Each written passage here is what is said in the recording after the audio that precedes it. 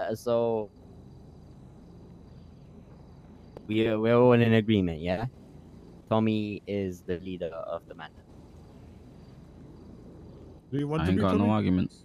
Yeah, I'm down. All right, I got no I think I think. I could do a good job.